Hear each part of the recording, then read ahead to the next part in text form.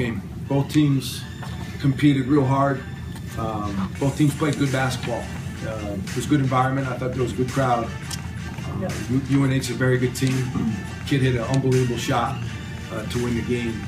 Uh, we played as well defensively as we've played all year. They're a very tough, physical uh, team, um, and I thought we met that challenge. Uh, we struggled to score in the second half. That was clear.